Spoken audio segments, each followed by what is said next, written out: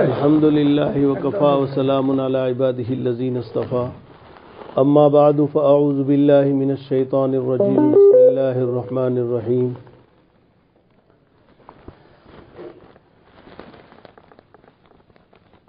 والمؤمنون والمؤمنات أولياء بعض أولياء بعضهم أولياء بعض. وقال الله سبحانه وتعالى اقرأ باسم ربك الذي خلق خلق الإنسان من علق. صدق اللہ العظیم محترم معلمات اور طالبات اور عزیز بچیوں، اللہ نے بڑی خیر کا معاملہ تمہارے ساتھ فرمایا ہے۔ اس وقت دنیا جس دھارے پر چل رہی ہے، اس وقت دنیا جس دھارے پر چل رہی ہے وہ عجیب و غریب اور اسلام کو مٹانے کی پوری سازشوں کے ساتھ چل رہی ہے۔ ہندوستان میں اسلام بہت مضبوط ہو رہا تھا، بہت آگے بڑھ رہا تھا۔ انگریزوں نے سوچا اسلام کو ختم کرنا ہے، کیسے ختم کیا جائے؟ سب سے پہلا حربہ انہوں نے یہ چلایا کہ مسلمانوں کو مارو، ان کو قتل کرو۔ جب ان کا قتل عام ہو جائے گا، اسلام ختم ہو جائے گا۔ ہزاروں علماء کرام کو شہید کر دیا، ہزاروں عوام کو شہید کیا۔ لیکن اسلام کی فطرت ہی اللہ نے کچھ عجیب بنائی ہے۔ اسلام کی فطرت میں قدرت نے لچک دی ہے۔ اسلام کی فطرت میں قدرت نے لچک دی ہے۔ جتنا ہی دباؤ گے، اتنا ہی یہ ابھرے گا۔ اسلام ختم نہیں ہو سکتا کبھی۔ ایک حد تک کام کر کے مایوس ہو گئے۔ مایوس ہونے کے بعد انہوں نے سوچا کہ اب ان کو ختم کرنے کا راستہ یہ نہیں ہے۔ ان کو مار کر ہم ختم نہیں کر سکتے ہیں، اس لیے کہ یہ اتنی بڑی تعداد میں ہے کہ سب کو ہم نہیں مار سکتے۔ دوسرا راستہ، ان کو ہم اپنا بنا لیں۔ ان کے دل اور دماغ کو ہم انگریزی بنا لیں۔ اور یہ سانچے میں اور ظاہر میں مسلمان بنے رہے اور ان کے اندر کا سارا رجحان ہم ہماری طرف مائل کر دیں۔ تو یہ زندہ ہو کر بھی مرے ہوئے ہوں گے۔ یہ پلاننگ کی۔ اور یہ پلاننگ کر کے پھر اس نے اسکولوں کا نظام قائم کیا۔ اور اسکولوں کی تعلیم کے اندر بھی ذہن کو خراب کرنے والے مضامین اور ہندو مسلمانوں کو اپنے بڑوں سے بدزن کرنے والے مضامین، اس طرح کی چیزیں جگہ جگہ پر انہوں نے ڈال دی۔ یہ انگریز کی بہت بڑی سازش تھی۔ چنانچہ اسکول اور کالج میں وہی ہوا جو وہ چاہ رہے تھے۔ وہ یہ چاہ رہے تھے کہ یہ ظاہر سے مسلمان بنا رہے، نام سے مسلمان بنا رہے اور اس کے دل اور دماغ سے یہ پورا انگریزی ہو جائے۔ اور آج ہم دیکھ رہے ہیں، جتنے بھی بچے اسکولوں میں پڑھ رہے ہیں، بچیاں اسکولوں میں پڑھ رہی ہیں، ان کے سامنے بس ایک ہی چیز ہوتا ہے، مادیت ہوتی ہے، دنیا ہوتی ہے اور عیش اور عیاشی ہوتی ہے اور یہ ساری چیزیں ان کے ذہنوں میں ہوتی ہے وہ اللہ کو نہیں جانتے، اللہ کے نبی کو نہیں جانتے، دین کو نہیں جانتے، شریعت کو نہیں جانتے، ماں باپ کو نہیں جانتے، کسی کو نہیں جانتے۔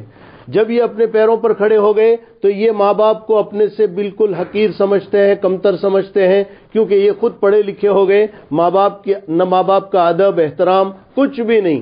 قصور ماں باپ کا ہے، ان اولاد کا اور بچوں کا نہیں ہے۔ اس تعلیم نے ان کو اس اسٹیج پر پہنچایا ہے کہ وہ ماں باپ کو کچھ نہیں سمجھتے۔ کیونکہ ماں باپ اگر گاؤں دیہات کے ہے تو وہ بچے اور بچیاں یوں سمجھتی ہے تو آپ تو گاؤں کے ہیں۔ آپ کو کیا پتا انگریزی زبان کیا ہے؟ آپ کو کیا پتا دنیا کا رخ اور دنیا کا ماحول کیا ہے؟ یہ ساری اسکیمیں ہیں ان کی دین کو اور اسلام کو مٹانے کی۔ دوسری چیز انہوں نے اسلام کو اور دین کو مٹانے کے لیے جو چلائی آج سے دو سو ڈھائی سو سال پہلے، وہ یہ کہ ان کی عوام کو، مسلمانوں کے عوام کو ان کے علماء سے کاٹ دو، ان کے علماء اور عوام کے بیچ میں جدائی ڈال دو، علماء کی نفرت ان کے دلوں میں ڈال دو، عالموں کی نفرت دلوں میں ڈال دو۔ جب عوام اور علماء کٹ جائے گی تو خود بخود یہ عوام مٹتی چلی جائے گی اور ختم ہو جائے گی، اور ان کے اندر سے دین اور اسلام نکلتا چلا جائے گا۔ میری پیاری بچیوں، اللہ نے اس ماحول سے کھینچ کر تمہیں اس مبارک ماحول میں اللہ لایا ہے۔ یہ اللہ کا کتنا بڑا احسان ہے۔ آپ خود نہیں آئی ہو، یاد رکھنا آپ خود نہیں آئی ہو، آپ کو اللہ لایا ہے۔ میں یرید اللہ بھی خیر یفقہ فی الدین، جس کے ساتھ اللہ بھلائی کا ارادہ کرتے ہیں اور جس کے ساتھ اللہ بھلائی چاہتے ہیں، اللہ اسے دین کی سمجھ دیتے ہیں۔ یہ دین کی سمجھ کا ملنا اور کتنا پیارا جواب دیا بچی نے۔ کہ اس ماحول میں جب تک ہم تھے، ہمیں وہ ساری چیزیں اچھی لگ رہی تھی۔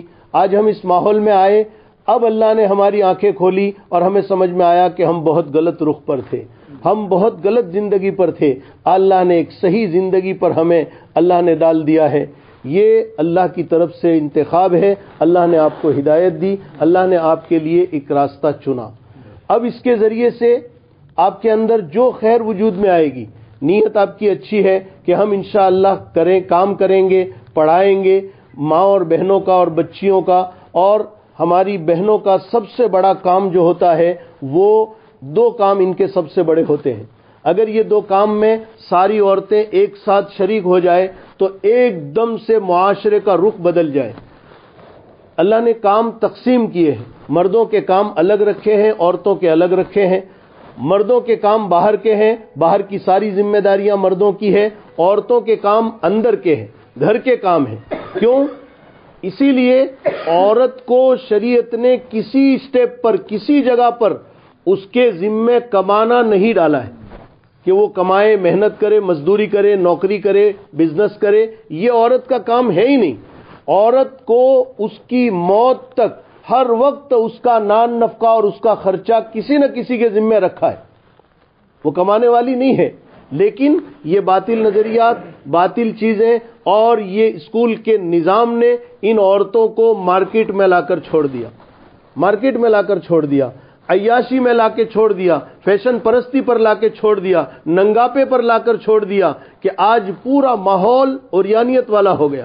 پورا ماحول ننگا ہو گیا۔ اب یہ بیچاری غریب بچیاں ماحول سے مجبور ہیں۔ وہ کچھ نہیں کر سکتی ہے۔ ایسے ماحول میں لا کر ڈال دیا جس کو میرے آقا مدنی صلی اللہ علیہ وسلم نے عزت کا تاج جس کے سر پر رکھا تھا کہ یہ اگر بیٹی ہے، بہت بڑی رحمت اور شفقت ہے۔ یہ اگر بچی ہے، یہ اگر بیوی ہے، تو بہت بڑی پیار دینے والی اور بہت بڑی شفقت دینے والی ہے۔ یہ اگر ماں ہے، تو یہ ماں کے ہوتے ہوئے ان الجنت تحت اقدام الامہات۔ اس کا درجہ اتنا بڑا ہے کہ جنت اس کے قدموں کے نیچے جاہلی معاشرے میں جس عورت کا کوئی کوئی اقتدار نہیں تھا، جس عورت کا کوئی مرتبہ نہیں تھا، کوئی درجہ نہیں تھا، بچی جہاں پیدا ہوئی، باپ جا کر اس کو گڑا کھود کر زمین میں گاڑ کے آ جاتا تھا۔ میرے نبی نے اس بچی کو کتنی عظمت دی، کتنا کتنا اونچا اٹھایا اس کو۔ آپ نے فرمایا، جس کی ایک بچی مر جائے، جو ایک بچی کو پالے، پوسے اور اس کی عمر ہونے کے بعد اس کی شادی کر دے، اس کے لیے جنت۔ پھر کہا، تین کے بارے میں کہا پہلے۔ اما عائشہ نے کہا، یا رسول اللہ، اگر دو بچیوں کو کوئی پالے پوسے، آپ نے کہا دو کے لیے بھی۔ پھر کہا، ایک کے لیے کا ایک کے لیے بھی۔ اور روایتوں میں ایک سے کم بھی ہے کہ اگر وہ بچہ آدھا پیدا ہوا، آدھا، لیکن بچہ زندہ نہیں رہا، تو اس کے لیے بھی ہے، جنت واجب۔ اس عورت کا درجہ اتنا بڑا۔ اب باطل نے اس کو مارکیٹ میں لا کر چھوڑ دیا۔ بالکل اللہ پاک جس کے ساتھ بھلائی کا ارادہ کرتے ہیں، اس کو اللہ خیر عطا فرماتے ہیں۔ ہمارے ہاں بمبئی میں جب ہم نے مکتب شروع کیا اور مستورات آنا شروع ہوئی، تو یہ مستورات کیسی تھی؟ آپ یقین مانو، ہمارا جو علاقہ ہے جہاں فائن ٹچ مدرسہ چل رہا ہے، یہ پورے بمبئی میں سب سے زیادہ پوش علاقہ ہے۔ یہاں بڑے بڑے مالدار گھرانے ہیں، بڑی لڑکیاں، بڑی بچیاں جو اب میں آپ کو بتاؤں، جو پینٹ اور ٹی شرٹ میں گھومنے والی، ننگے بال اور ننگے سر گھومنے والی اور بائک اور گاڑیاں لے کر گھومنے والی اور ایش اور عیاشی کرنے والی، اس طرح کی بچیاں جس میں مال کی کوئی کمی نہیں، کوئی مال کی کمی نہیں، پورے روڈ پر اگر ہم چلیں، ہم نہیں پہچان سکتے کہ یہ مسلمان کی لڑکی ہے کہ مسل، غیر مسلم کی لڑکی۔ ہم نہیں پہچان سکتے کون ہے لڑکی۔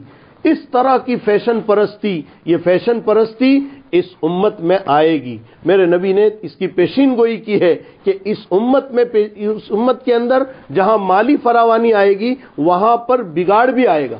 اور ایسا خطرناک بگاڑ آئے گا، ایک مرتبہ رات کے وقت میں اللہ کے نبی صلی اللہ علیہ وسلم بیدار ہوئے۔ اور آپ نے فرمایا، ایک دم گھبرا کر بیدار ہوئے۔ گھبرا کر بیدار ہوئے۔ اور آپ نے فرمایا میں یو قیزنی میں یو قیزونی کون ہے جو میرے گھر والوں کو جگائے۔ کون ہے جو میرے گھر والوں کو جگائے؟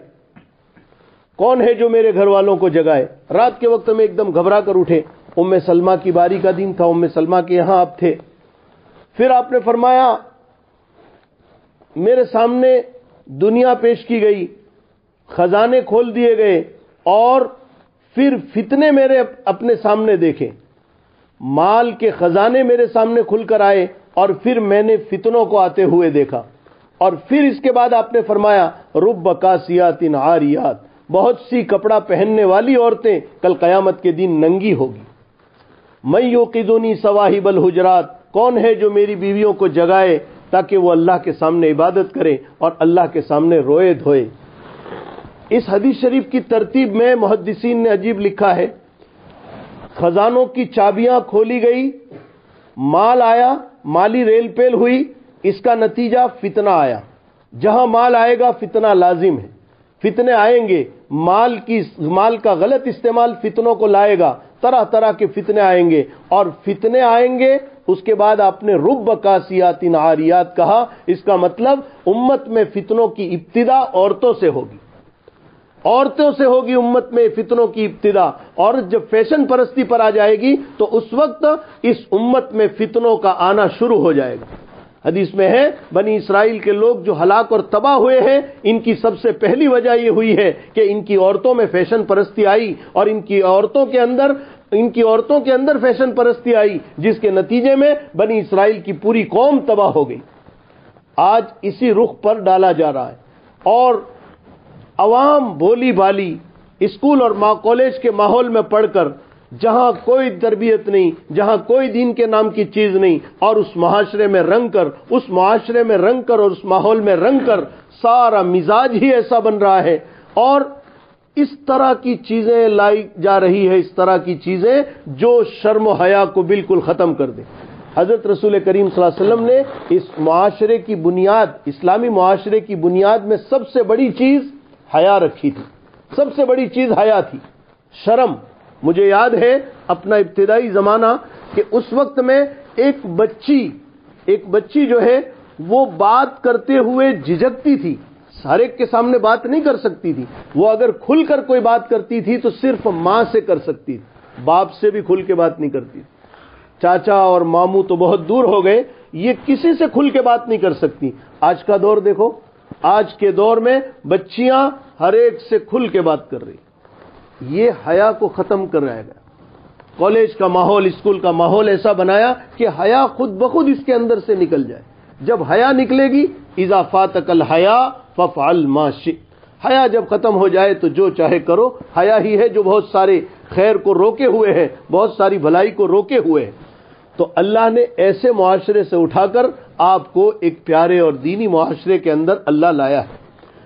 اب وہ فائن ٹچ کا علاقہ جہاں بڑی بڑی عورتیں، بڑی بڑی بچیاں، مالدار گھرانوں کی بچیاں جو ایک دم ننگی گھوم رہی ہے، جن کے کپڑوں بدن کے اندر نہ نقاب ہے ان کے اوپر، نہ ان کے اوپر برقع ہے، بالکل آزادی کے ساتھ گھوم رہی ہے، کوئی بولنے والا بھی نہیں ہے، گھر کا ماحول بھی اس طرح کا ہے۔ جب وہاں پر مکتب شروع ہوا مکتب شروع ہوا۔ آج تو الحمد پندرہ سال ہو گئے۔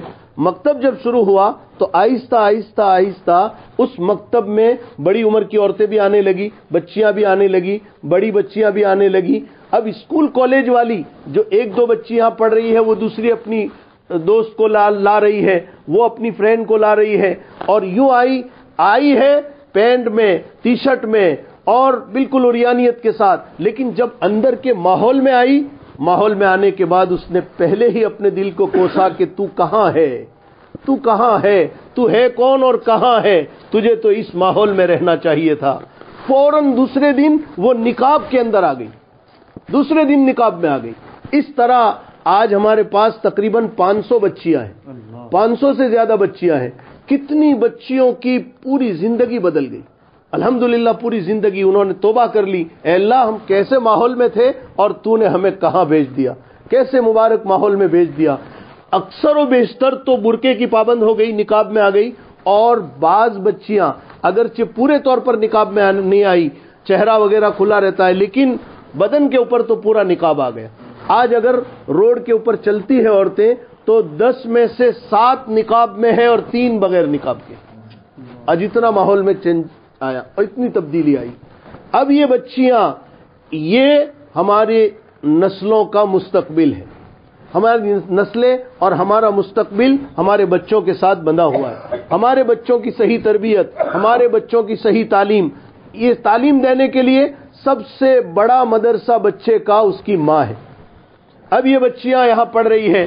جہاں بھی مستورات کے مکاتب میں بچیاں پڑھ رہی ہیں، یہ علمی زیور سے آراستہ ہو کر جا رہی ہے ان کے اندر اللہ کا ڈر آ رہا ہے، ان کے اندر تقوی آ رہا ہے، ان کے اندر خوف خدا آ رہا ہے، ان کے اندر نقاب اور برقع آ رہا ہے۔ اور یہ اللہ سے ڈرنے والی نماز کی پابند ایسی بچیاں بن کر جب نکلے گی، اب یہ کل جہاں بھی جائے گی، جس گھر میں جائے گی، اس گھر کو آباد کر دے گی۔ ہم نے اپنی آنکھوں سے دیکھے ہیں، پورے گھرانے کو، پورے گھرانے کو چینج کرنے میں ایک عورت کا رول رہا ہے۔ ایک عورت جب بن کر گئی ہے اور بہو بن کر کسی گھر میں گئی ہے تو اس پورے گھر کو، جس گھر کو لوگ فیشن پرستی میں اول نمبر دیتے تھے، لیکن ایک بچی اللہ سے ڈرنے والی اور اللہ کا اللہ کا علم رکھنے والی اور دین سیکھ کر جب وہ اس ماحول میں اور معاشرے میں گئی ہے تو اس نے ایسی محنت کی ہے کہ اس کی محنت پر پورا گھر بدل گیا۔ پورے گھر کی عورتوں میں جہاں سے فیشن چلا کرتی تھی، اب لوگ انگلیاں اٹھا کر دیکھتے ہیں کہ او ہو یہ گھر اتنا بدل گیا، اتنا بڑا رول ہے ایک عورت کی محنت کا، عورت کی محنت کا۔ ہمارے بزرگوں کی زندگیوں میں اگر ہم دیکھیں گے کہ ایک نسل کو تیار کرنے والی اور نسل کو آگے بڑھانے والی سب سے بڑی عورت ہے، سب سے بڑا ہاتھ ماں کا ہے۔ کسی کی بھی سیرت کو اٹھا کر اگر آپ دیکھو گے، ہر ایک کی سیرت میں آپ کو عورت کی محنت کسی نہ کسی سب طرح سے ملے گی آپ کو۔ امام بخاری کو بخاری بنانے والی بوڑھی ماں ہے۔ اس بوڑھی ماں نے امام بخاری کو بخاری بنایا ہے اور اتنے اونچے مقام تک پہنچایا ہے۔ بوڑھی ماں اور وہ بھی بیوہ۔ خواجہ قطب الدین اولیاء رحمت اللہ علیہ، ان کو اتنے اونچے مقام تک پہنچانے والی ان کی ماں ہے۔ فاطمہ بنت خطاب یہ وہ خوش نصیب خاتون ہیں حضرت عمر کے اسلام کا سبب فاطمہ بنت خطاب بنی ہے صفیہ بنت عبد المطلیب یہ بہن ہے جس نے حضرت عباس حضرت عباس کی ہدایت کا ذریعہ بنی ہے اور حضرت عباس کے ایمان کا سبب بنی ہے حضرت اکرما ابن ابی جہل، ان کو ہدایت ملی ہے ان کی بیوی کی طفیل میں۔ اللہ نے ماؤں کو اور بچیوں کو اور بہنوں کو بڑی زبردست صلاحیت ہے۔ آپ کے عزائم بلند ہونے چاہیے کہ ہم انشاءاللہ جس ماحول میں جائیں گے، اس ماحول کو ہم اپنے ماحول کے مطابق بنانے کی کوشش کریں گے، نہ یہ کہ ہم اس ماحول میں رنگ جائیں گے۔ چلو تم ادھر کو جدھر کی ہوا ہے ایسا نہیں، بلکہ ہم جس ماحول میں بھی جائیں گے، کل کو ہمارا، ہماری قسمت کہاں ہمیں لے جا رہی ہے؟ ہم کس گھر میں جا رہے ہیں؟ کس گھر کی دلہن بن کے جائیں گے؟ جہاں جائیں گے، انشاءاللہ وہاں پر ہم پورے گھر کو آباد کرنے کی محنت کریں گے، پورے گھر کو دینداری کے سانچے میں ڈالیں گے اور اپنے بس میں جتنا ہے، اس پورے ماحول میں، اس پورے محلے میں اور اس پوری بستی میں کوشش یہ کریں گے، ہر گھرانہ دین سے ہم آہنگ ہو جائے، دین اس کی زندگی میں آ جائے، وہاں کی بچیاں پردے میں آ جائے وہاں کی بچیاں اللہ کے دین کے ساتھ زندگی گزارنے والی بن جائیں۔ عورتوں کے بس یہ دو ہی کام ہیں، ایک کام گھروں میں رہ کر اپنے بچوں کی تربیت کرنا، گھر کا ماحول بنانا اور گھروں میں دینداری کو داخل کرنا۔ اور اللہ نے آپ گودوں میں بچے دیے ہیں، ان بچوں کی صحیح تربیت کر کے ان کو پروان چڑھانا۔ یہ سب سے پہلا کام ماں کا ہوتا ہے، ایک ماں کا ہوتا ہے، بہن کا ہوتا ہے، جو بچی کے دل میں سب سے پہلے یہ بیج ڈالتی ہے کہ بیٹے، تیرا اور میرا پالنے والا ایک اکیلا اللہ ہے، ایک اکیلا اللہ ہے۔ یہ سب سے پہلا بیج ماں کی طرف سے پڑتا ہے اور پھر مدرسوں میں اسی بیج پر آبیاری ہوتی رہتی ہے اور وہ آگے بڑھتا رہتا ہے۔ دوسرا کام، دینی کاموں میں معاونت۔ دینی کاموں میں معاونت۔ یہ دو کام ہیں ماؤں کے اور بہنوں کے اور بچوں، بچیوں کے۔ ان دو کاموں کے ذریعے سے پورا معاشرہ ایک دم سے آگے بڑھتا ہے۔ اللہ کا شکر ادا کرو، اللہ نے آپ کو ایک پاکیزہ ماحول میں لا کر رکھ دیا ہے۔ یہ بڑا مبارک ماحول ہے جہاں آپ اللہ اور اللہ کے رسول کا دین سیکھ رہی ہے جہاں آپ سنت اور شریعت کو سیکھ رہی ہے ابھی سے اللہ کے سامنے روزانہ شکر بھی ادا کرو اور جو سیکھو اس کے مطابق عملی زندگی بنانے کی کوشش کرو۔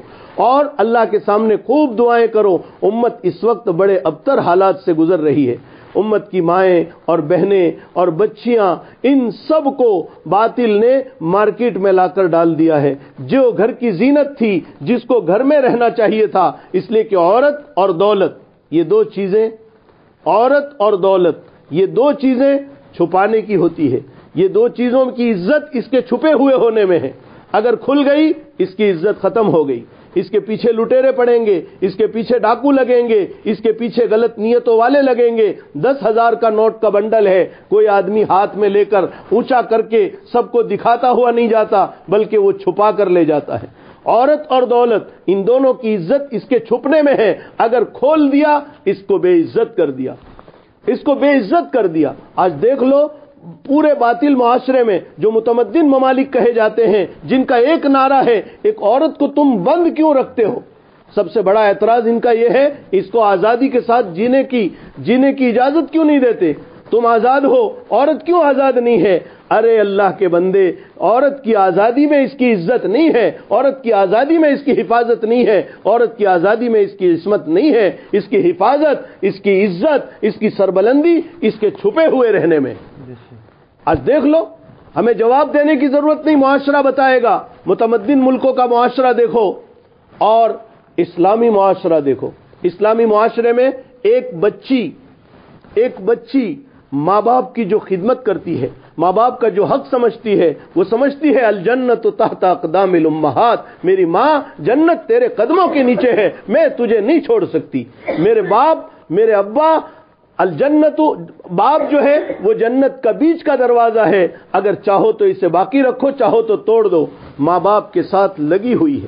یہ بچیاں کبھی ماں باپ کو نہیں چھوڑتی۔ یہ بچے کبھی ماں باپ کو نہیں چھوڑتے۔ اس لیے کہ یہ اسلامی کلچر میں اور اسلامی ماحول میں پڑے ہوئے ہیں۔ اور جو متمدن ممالک، آزاد ممالک، جہاں اللہ نے مال اور دولت کی اتنی فراوانی دی ہے، وہاں کیا ہے؟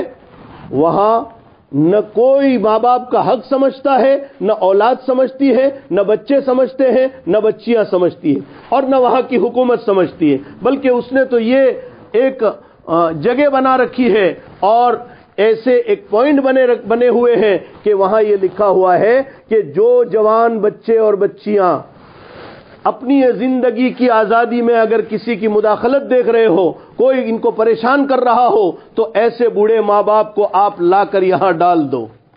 یہاں لا کر ڈال دو، حکومت ان کو پالے گی۔ کتنے ماں باپ بچارے آہ کرتے ہوئے وہاں پڑے ہوئے ہیں اولڈ ہاؤس میں، اور وہاں پڑے ہوئے ہیں، اور یہ جوان بچے اور بچیاں اپنی زندگی عیاشی کے ساتھ گزار رہی ہے بچیوں کو عزت اس میں ملی کہ اس میں ملی؟ میری بچیوں، اللہ نے تمہیں بہت اونچی جگہ پر لا کر رکھا ہے۔ اللہ کا شکر ادا کرو، اپنے جذبات بلند رکھو، اپنی نیت بلند رکھو کہ ہم انشاءاللہ ہمارے ہاتھوں ایسی بچیاں تیار کرے گی اور ایسی مائیں اور بہنیں ان کا ذہن موڑے گی۔ میں نے اس طرح کے مکاتب کئی جگہ مدرسے دیکھے، ناگپور کے اندر مدرسہ دیکھا، جہاں عالمیت کی بچیاں پڑھتی ہے صبح میں آتی ہے اور شام کو چار بجے چلی جاتی ہے یہ بچیاں پڑھ رہی ہے اور پھر میں نے وہاں جائزہ لیا اور ان کا پوچھا میں نے ان کو، تو کہتے ہیں یہ عربی اول سے لے کر عربی پنجم تک، پانچ سالہ کورس ہے۔ پانچوں سال کی بچیاں جب یہاں سے چار بجے گھر جاتی ہے، تو گھر جا کر یہ اپنے محلے کی دو چار عورتوں کو اپنے گھر پر بلا کر پڑھاتی۔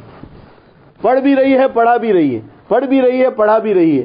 اس طرح سے یہ بچیاں جو ہے جب بڑی ہوگی تو انشاءاللہ ان کے ذریعے سے اللہ تعالیٰ بہت تبدیلیاں لائیں گے اور ایسی ہماری بہنوں کی ضرورت ہے۔ جو جو عصری تعلیم بھی جانتی ہو، انگلش پڑھنا لکھنا جانتی ہو، اور اس کے ساتھ ساتھ ان کا ذریعہ معاش بھی ان کو سکھایا جاتا ہو، اور یہ عصری تعلیم کے ساتھ دینی تعلیم سے بھی ہم آہنگ ہو اور پردے میں ہو سنت اور شریعت کے مطابق ہو اس لیے زندگی پر ایک چیز باندھ کر رکھنا میری بچیوں، تمہارے لیے آئیڈیل یورپ نہیں ہے۔ تمہارے لیے آئیڈیل یہ بازار کی ننگی عورتیں گھومنے والی، یہ تمہارے لیے آئیڈیل نہیں ہے۔ تمہارے لیے آئیڈیل حضور کی بیویاں ہیں، ازواج متحرات ہے صحابیات ہے یہ سب تمہارے لیے نمونہ ہے۔ تمہارے لیے آئیڈیل اور نمونہ فاطمہ بنت رسول اللہ صلی اللہ علیہ وسلم آپ انہی کی بچیاں ہو، آپ انہی کی نسل سے ہو، اور آپ کو یہی تمہارے لیے آئیڈیل ہے، نمونہ وہ ہے۔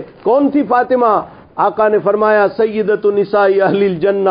فاطمہ جنت کی عورتوں کی سردار ہے۔ فاطمہ تم منی۔ من آزا فقد آزانی۔ فاطمہ میرے جسم کا ٹکڑا ہے۔ جو اسے ستائے گا، وہ مجھے ستائے گا۔ اور جو مجھے ستائے گا، وہ اللہ کو ستائے گا۔ اتنا بڑا مقام۔ کیسی تھی فاطمہ؟ ہاں ہاں۔ آخری وقت ہے۔ اپنے شوہر سے کہہ رہی، علی، میرا انتقال ہو جائے۔ میرے جنازے کو تیار کر لو۔ رات کے وقت میں تدفین کرنا میری۔ دن میں میرے جنازے کو مت لے جانا۔ اس لیے کہ میں چاہتی ہوں کہ دن میں، اجالے میں جب میرا جنازہ لے کر چلو گے، تو میری ایک چاہت ہے کہ کسی غیر کی نظر میرے جنازے کی چارپائی پر بھی نہ پڑے۔ جنازے کی چارپائی پر بھی نہ پڑے۔ علی زندگی میں جب سے ہوش سنبھالا ہے اس وقت سے لے کر آج تک، کسی غیر مرد کو غلط نیت سے میں نے دیکھا نہیں اور کسی غیر مرد کی نظر میرے اوپر آج تک پڑی نہیں۔ یہ ہمارے لیے آئیڈیل ہے، یہ ہمارے لیے نمونہ ہے۔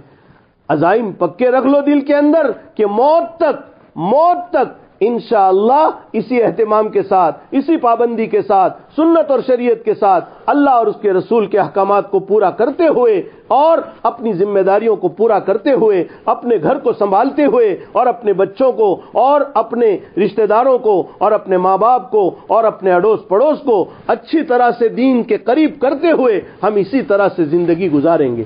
اللہ آپ کو قبول فرماوے، آپ کو پڑھانے والی معلمات، یہ بھی قابل قدر ہے، مبارکباد ہے۔ اللہ انہیں بھی جزائے خیر عطا فرمائے۔ آپ انہیں اس طرح تیار کرو، آپ ایک بچی کو نہیں تیار کر رہی ہے، آپ ایک بچی کو نہیں، بلکہ ایک علاقہ تیار ہو رہا ہے، یوں سمجھو، ایک گھرانہ تیار ہو رہا ہے۔ اور اس گھرانے سے کتنے خیر وجود میں آئے گی، ہم سوچ نہیں سکتے ہیں۔ اللہ تعالی ہمیں عمل کی توفیق نصیب فرماوے۔ وقت ختم ہو رہا ہے وقت کم ہے ابھی۔ ورنہ جی چاہتا تھا اور بھی کچھ کہوں میں آپ سے۔ اللہ تعالیٰ آپ کی محنتوں کو قبول فرماوے اور اللہ دن دنی رات چوگنی ترقی نصیب فرماوے۔ اللہ ہر طرح کے شرور سے فتن سے آفتوں سے اللہ آپ کی حفاظت فرمائے۔ اللہ اس ادارے کی بھی حفاظت فرمائے۔ واخر دعوانا الحمد للہ رب العالمین۔